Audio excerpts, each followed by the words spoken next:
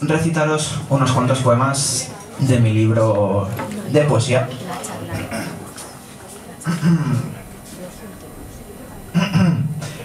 Con el señor Dani Usero, quien me va a acompañar con el ukelele. Yeah. Así que estoy muy contento de estar aquí. Muchísimas gracias por la invitación y bueno, son 12 euros por si alguien lo quiere, ¿vale? El primer poema me lo sé de memoria, así que no lo voy a usar.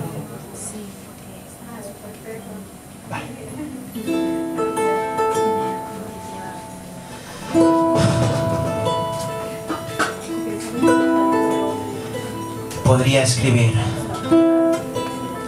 en todos los idiomas del mundo y de todas las palabras de todos los idiomas del mundo. Estoy usando estas. Yo, un ser sin saber qué me pondré mañana, un ser sin saber ver más allá de mi ombligo, sin saber cómo huir del frío, sin saber por qué leo o por qué escribo. Aún así, tengo la capacidad de conectar con mis adentros, saber que tengo adentros y de que puedo plasmarlos en un papel. Un papel que en el ocaso de un grito se convirtió en crujido y después en silencio. También tengo la capacidad y el poder de romper, de cercenar, de mutilar, hasta puedo matar sin pensar. En cambio, no me sé sincerar con mi alma. Y si lo hago, arde un agujero negro. Y se crea un túnel de oscuridad que concentra toda la gravedad de la tierra en un verso. Y multiplico mi mente en espacios finitos y me condeno. Me encierro, me condeno, me encierro, me condeno, me encierro y me condeno tantas veces como sea necesario para volver a esculpir mi sonrisa a martillazos. Y me equivoco, me equivoco como solo sabemos hacerlo los humanos. Al dejarme llevar, pongo en manos del destino mi albedrío. Al dejarme llevar ignoro la voz de la conciencia que me dice, no lo hagas. Pero yo soy quien empuña el arma. Yo soy quien dispara la bala que cargada con la angustia de un pueblo convierte desiertos en ríos de lágrimas. Las necrológicas de la historia aplican mi consigna. El despertar de una célula no tiene por qué ser sinónimo de vida. El dolor más profundo puede esconderse detrás de la mejor de las sonrisas. Y podría morir, de hecho, moriré entre sollozos o entre álgidos clamores de victoria. Podría hilvanar millones de errores por segundo y después borrarlos de mi memoria. Podría escribir en todos los idiomas del mundo. Pero de todos estos idiomas no sé, porque no sé expresarme con ninguno.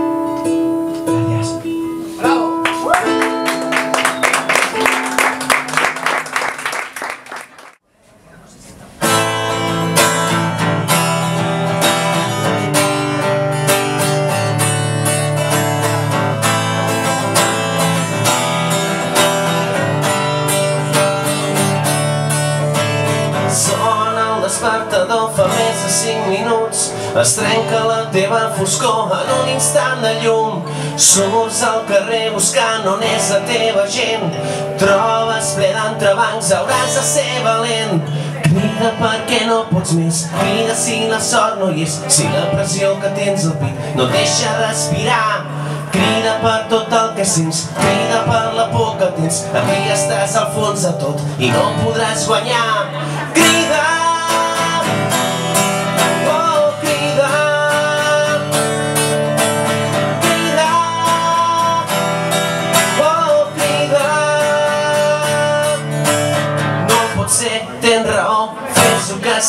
millor si aconsegueixes canviar ningú et podrà aturar?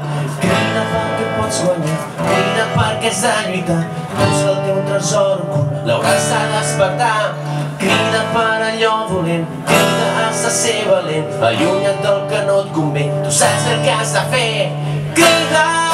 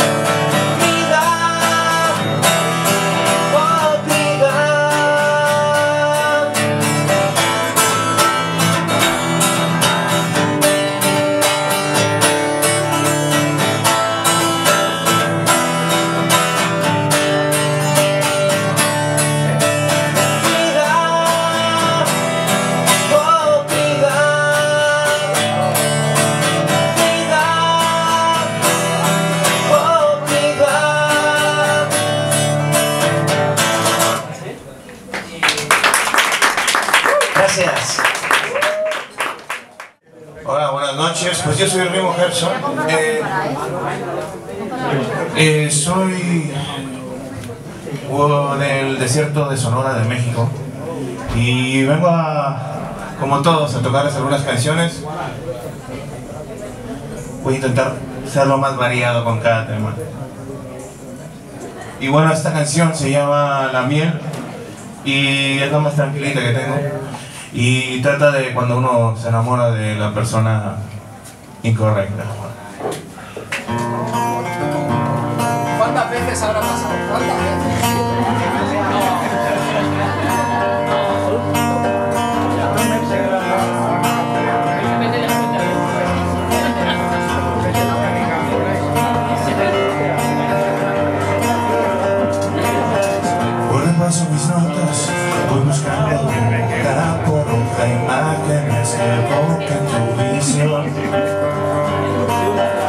Mientras leo mis palabras, me abordan otras tantas que son anclas de tus gestos y tu voz.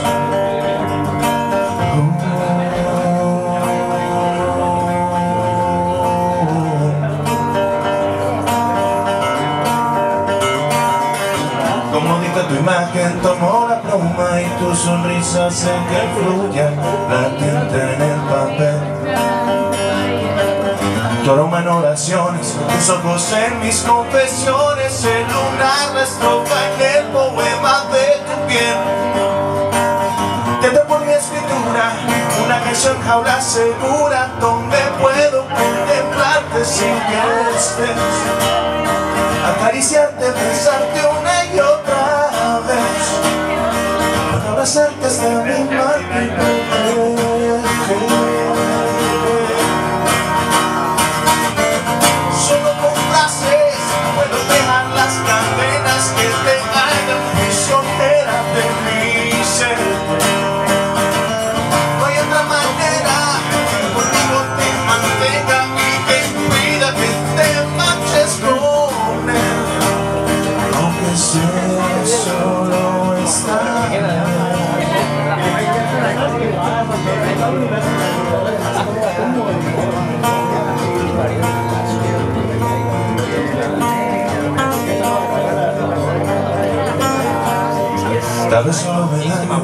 Para refugiarme en este canto vano El engaño que confunde mi razón.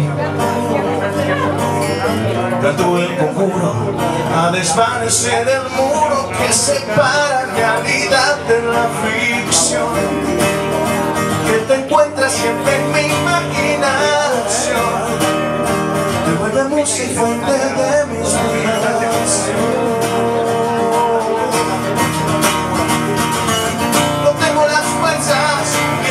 ni razón que me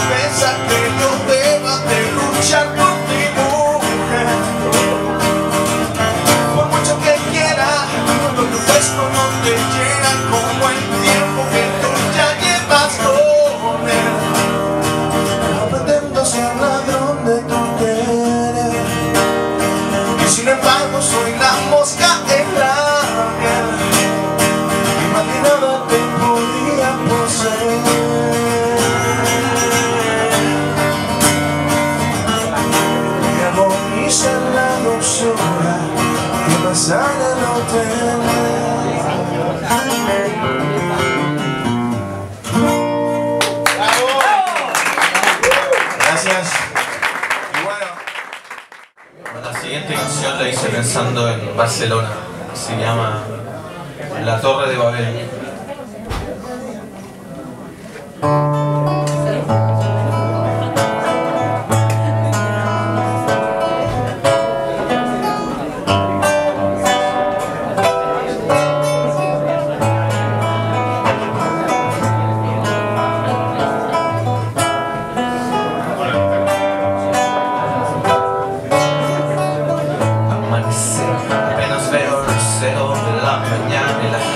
Anda estresada corriendo por ahí con el tic-tac de los relojes escucho sus pasos en las noches ya no puedo ni dormir.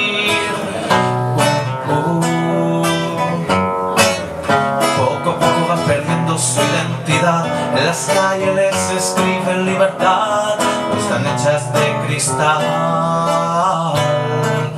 Todos los sueños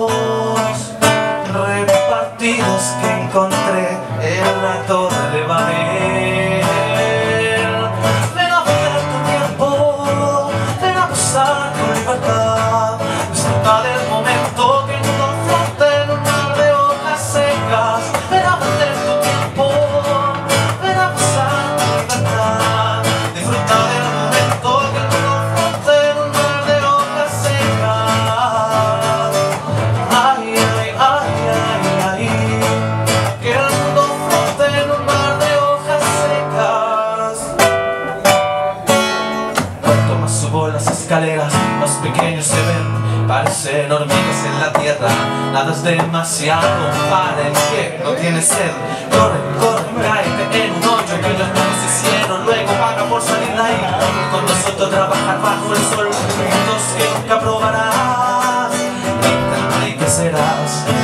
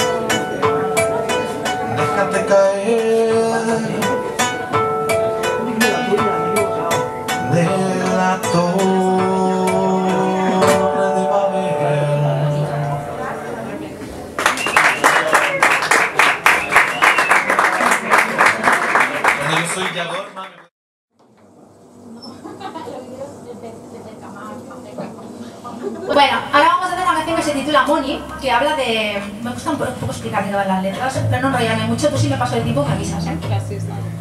Es una canción que habla de, una, de un delfín que vive en un, en un acuario de estos, ¿vale? Entonces un día descubre que está encerrado, ¿no? Él no, no había sido consciente hasta que, hasta que era suficientemente grande como para ver que ya no cabía allí, ¿sabes? Que no... Entonces escapó y mientras en su, en su fuga, dijéramos, se tropezó con una cerdita que se había escapado de un matadero, ¿no? Y entonces juntos se fueron a los mares, a surcar los mares y tuvieron un hijo que es un cerdelfín, ¿vale? Es un, un tipo, un, un tipo de bicho extraño que me inventé un día. Y a la idea pues ahí esta canción. Una fricada otra cualquiera, pero bueno. Se titula Money, ¿vale? Que se supone que es el nombre del, del delfín cuestión. A ver. 2, 3, 1, 2, 3, 1, 2, 3.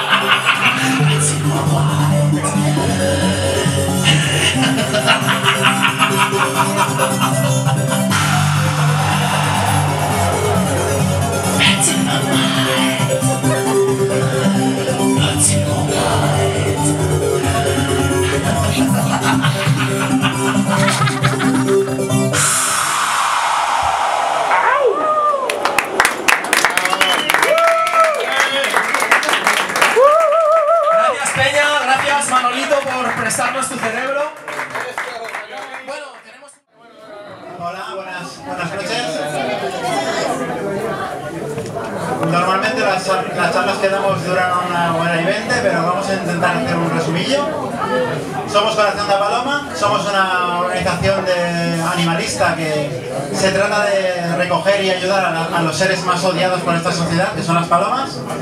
Intentamos igualarlos con otros animales más más queridos, más reconocidos. Y ya que solo tengo 10 minutos, os voy a hacer, voy a hacer que por lo menos hagáis con, sabiendo alguna cosa rara o anecdótica que podáis explicar y tal. Para poder hacer un poco más de empatía con estos bichos, ¿vale? Muy bien.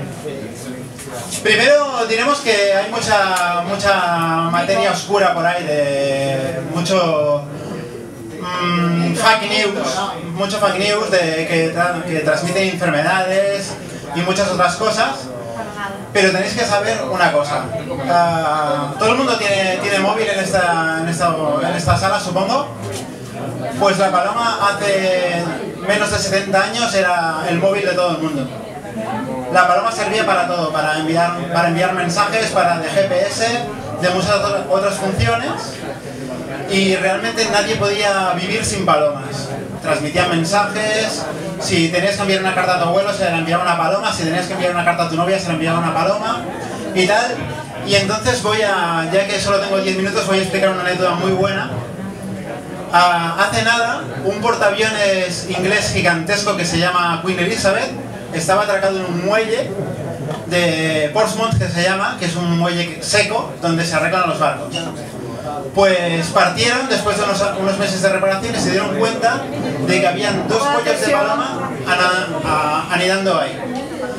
Pues contrataron un helicóptero, un Sea Harrier, un helicóptero que valía una pasta increíble, eh, la gasolina y un piloto de Sea Harrier totalmente uniformado fue a dar estos paños de paloma a un centro de recuperación. Aquí esto nos parece ciencia ficción, en otros países es normal, aquí cuando te encuentras una paloma por la calle te espabilas y no hay otro remedio. Ahí se pueden gastar millones en, en- y no es para hacer un favor, o sea, es pa- porque ahí se rescatan las palomas por, por humanidad. Aquí nos falta mucho, pero estamos intentando llegar. Después también os contaré que Corazón de Paloma nació un día que nos encontramos una paloma por la calle y realmente nos vimos que no sabíamos qué hacer con ella. No sabíamos si se podía llevar a un veterinario, no sabíamos los cuidados básicos, la temperatura, la comida que se tenía que dar. Entonces, cuando lo supimos, vimos que había mucha gente que posiblemente no tendría el acceso a esa información y tenía que tenerla rápidamente. Por eso nacimos más que nada para que si tienes una duda nos puedes mandar un correo y te podemos llamar, te podemos decir que no, no comen pan, por ejemplo, no transmiten enfermedades a tu conejo, no se van a cargar a tu madre por toserle encima y cosas así, que es lo que piensa la gente de lo primero cuando coge una paloma. Lo, que nos envían es muy surrealista, tenemos 30 correos al día y todos mm, muy extraños. Un tanto por ciento son guays, pero estamos intentando que todos sean del palo, qué puedo hacer, a qué veterinario puedo llevar y cómo puedo ayudar. Y eso sería lo ideal. Ahora mismo vi- vivimos en Barcelona, que es una ciudad muy avanzada. Estamos aplicando un método de, control, o sea, de gestión ética en las calles. No sé si lo habéis visto, que son unos dispensadores de un pienso que no es anticonceptivo, sino que curiosamente es un efecto secundario de un medicamento que provoca que las palmas durante seis días no sean fértiles. Y con esto esperamos reducir en 8 años un 80% de la población de las palmas de Barcelona. Porque a nosotros nos encantaría que hubieran palomas en todas partes, nos encantaría. Pero sabemos que los demás ciudadanos no tienen, no tienen por qué ah, comprender esta situación y supongo que estaría mejor una población más sana. Porque la sobrepopulación también provoca para ellas enfermedades que transmiten entre ellas y eso es muy terrible también, pensamos. Entonces con ese sistema se intenta en Barcelona probar que una gran ciudad puede gestionar las palmas de una manera ética sin tener que matarlas para nada. Porque aunque esto se calle, llevan 20 años matando palomas en Barcelona seguidamente, con 600.000 ejemplares muertos en 20 años. Esto en cualquier otro animal pues, sería un holocausto increíble que saldría en todos los periódicos, pero esto se ha hecho bajo, bajo manga durante 20 años. Y además la empresa que ha tenido esa concesión ha conseguido 20 años seguidos de concesión municipal. Eso quiere decir que aquí ha habido encima trampa, digámoslo así suavemente. Se ha roto esto, realmente cuando, cuando entró la nueva alcaldía pensábamos que sería todo maravilloso, pero fue un poco al revés. Hemos tenido que luchar con mucha gente, aquí hay unos cuantos, con la ayuda de abogados y otra gente que altruistamente, porque aman a los animales, han querido ayudarnos a implantar este método. Y ahora hace dos años que no se captura en Barcelona, y eso es maravilloso. Y las palomas son unos animales maravillosos que son súper inteligentes, se reconocen ante el espejo, igual que nosotros, que no son ningún animal eh, tonto como lo ve la gente, ni transmiten enfermedades. Supongo que sabéis que el libro es el origen de las especies de Darwin, ¿no? Sí, vale. Cuando Darwin presentó su libro a la editorial inglesa que lo publicaba, el primer capítulo iba sobre palomas.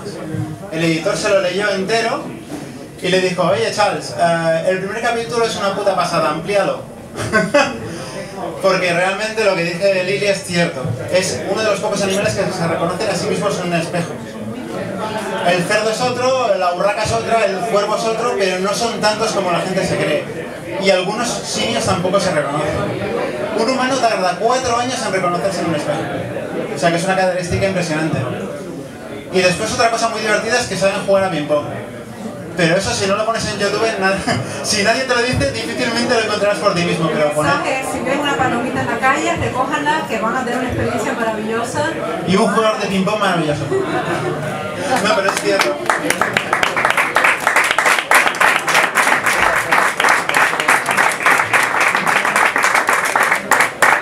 Pues bueno, pues muchas gracias por haberme atendido y además me ha hecho mucha gracia que el grupo que me ha precedido, a, lo que se lo agradezco realmente que nos hayan precedido, es mi estilo de música, o sea... o sea, he aguantado toda la noche para ver un concierto genial, muchas gracias. Entonces, este tema es un tema súper despechado, así le decimos en Argentina cuando una mujer sufre por amor y se está despechada, entonces le decimos así. Eh, este tema dice así, soltándome.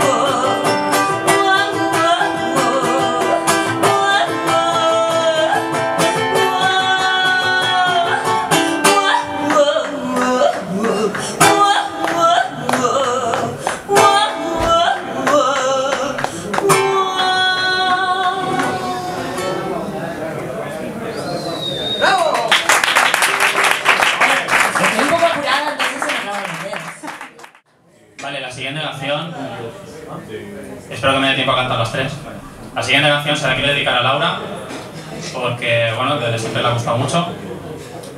Y también se la quiero dedicar a todos los veganos, vegetarianos, semi-vegetarianos y gente que no espero que está pensando en hacérselo. Porque me parece una cosa muy justa. Eh, un aplauso. Eh, porque después de todo, ¿quién necesita carne teniendo seitán, no?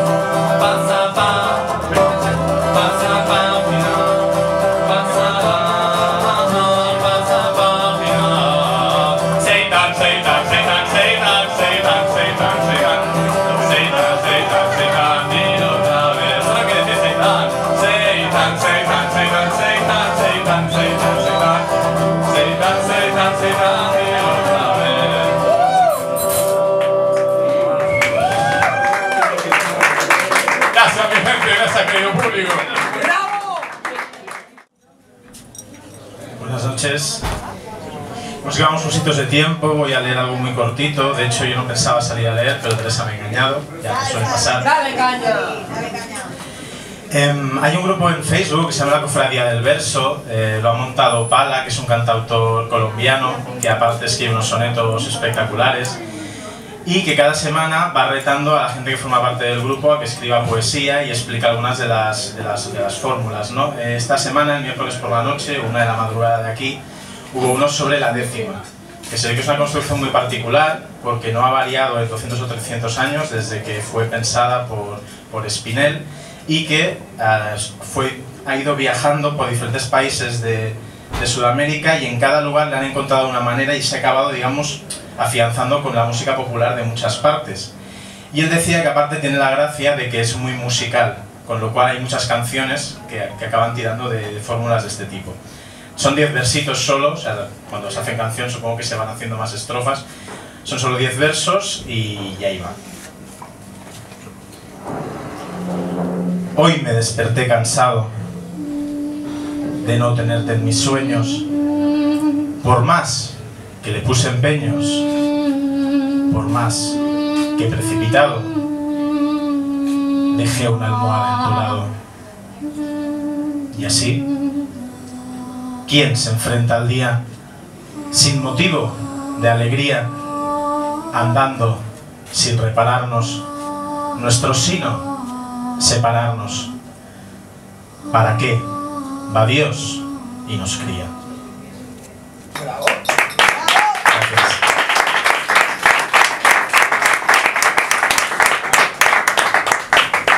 Voy a acabar con algo erótico porque yo soy de las que pienso que si pudiéramos más erotismo en nuestras vidas, como poco sonreiríamos más. Em, los, vers- los poemas no se explican, pero esto como no es un poema, os digo un poco cómo ha salido así rápidamente. Eh, me convidaron a agitar un, un evento erótico y dejé en el muro eh, esta frase. Nos vemos en la juntura de los deseos, cometámonos. Un amigo escritor que es muy cachondo dijo, "Mm, Teresa, em, tengo la neurona un poco seca, explícame qué es eso de cometámonos. Y de ahí salió este escrito. Hay una tendencia en que a veces los señores van un poco rápido si no nos tienen muy en cuenta. Entonces esto va para eso. Espero representar a las féminas. También hay una tendencia de mujeres, parece, últimamente, que cuando eh, se comparten con sexo explícito, no quieren que los señores las besen y las toquen por si se enamoran de ellas. Yo me salgo de todo eso y represento a las otras, a las que nos gusta follar con ternura. Bye. ¡Bravo, hombre! ¡Bravo! Momentos. Me derramo en ti cual adolescente madurada, viviendo la luz como los primeros rayos de sol. Cuando tu dedo ilumina mi clítoris estalla el universo cuando caigo en ti, como una pequeña muerte deleitosa, en el momento en que tu bálano florece entre mis pechos, en nuestro estremecimiento conjunto. Y tu blanco esperma pinta mi piel mientras la sangre palpita como un caballo salvaje en el corazón e inunda cada poro de nuestros cuerpos en el orgasmo del pecado más sagrado. Y después de hacer y deshacer una y otra vez caminos salvajes sobre tu piel en el pecado más sagrado, al acabar nos quedamos abrazados, amorosos al aroma del sexo, sudorosos y entregados, respetando los silencios que nos cuentan aquello que no se habla. Y reímos sin ningún motivo, porque compartimos íntimamente esa alegría. Me gusta que el máximo placer compartido cuando cada uno hizo todo lo que pudo desemboque en una enorme sonrisa. Mi sexo entonces chorrea el azúcar ya fundido a golpe de deseo al tiempo que no pensaba que un cuerpo masculino pudiera ser tan dulce. Tienes un cuerpo de miel y un culo desvergonzado que me desordena y me invita a pecar con alevosía y reiteradamente cada vez que me das la espalda. Y esa alquimia de elementos me precipita al abismo de lo amoral cuando convergen las agujas de lo dulce que es tenerte dentro. Me gustan los hombres de sonrisa amplia que disfrutan sonriendo y con nimiedad, porque para ellos todo es dulce en ese momento y te hacen sonreír tan solo viendo las cosas pequeñas. Me gustan los hombres que son luz y sus manos te hacen sentir viva. Me gustan los hombres que demuestran que no se necesita nada más que el deseo de disfrutar. Me gustan los hombres vivos como la vida, salados como los besos, dulces como las caricias, tiernos como las miradas, de sorpresas como las noches donde edificar el deseo como un árbol florido, como un sueño que se puede hacer real, es viable, trepándoles. Quiero besarte todo el cuerpo, enredándome en él y al acabar volver a comenzar y seguir besándote después.